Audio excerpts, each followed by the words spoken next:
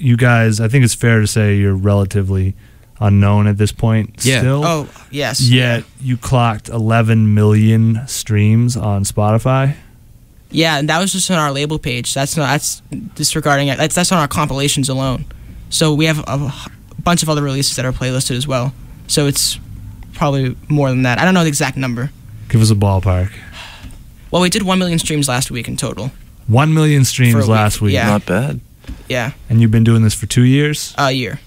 You've Yeah. only been doing well together for two Together. years, but like all together, streaming, dust collectors. streaming, we've been on since July. Yeah. So Give it another year. The development will probably be there. Yeah, I'm sure you'll Yeah. finally Yeah. see results next Yeah. Should be fun. year. well, like those streams do count, but there's not a lot of artist development going on. That's the Right. thing we have to like contend Yeah. with and get get going.